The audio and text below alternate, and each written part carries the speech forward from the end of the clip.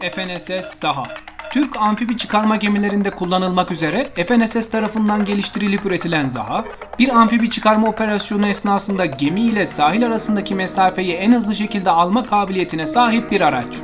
Zaha, harekatın çıkarma safhasında kıyıya yanaşan havuzlu çıkarma gemilerinden denize inebilmekte ve aradaki mesafeyi yüksek süratle kat ederek birliklerin koruma altında ve ateş desteğiyle kısa zamanda karaya çıkmasını sağlamakta.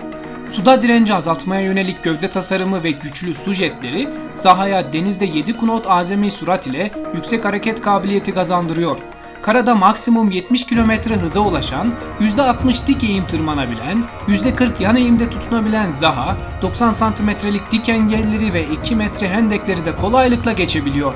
Zaha, 12.7 mm makinalı tüfek ve 40 mm otomatik bomba atar barındıran uzaktan komutalı silah kulesiyle yüksek ateş gücüne de sahip.